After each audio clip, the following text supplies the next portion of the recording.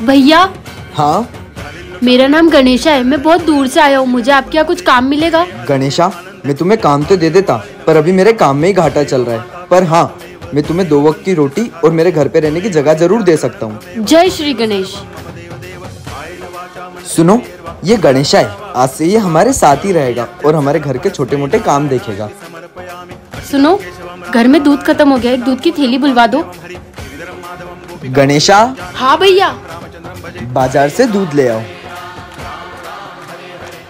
सुनो आज गणेश चतुर्थी है। गणेश भगवान के लिए आसन तैयार कर दो।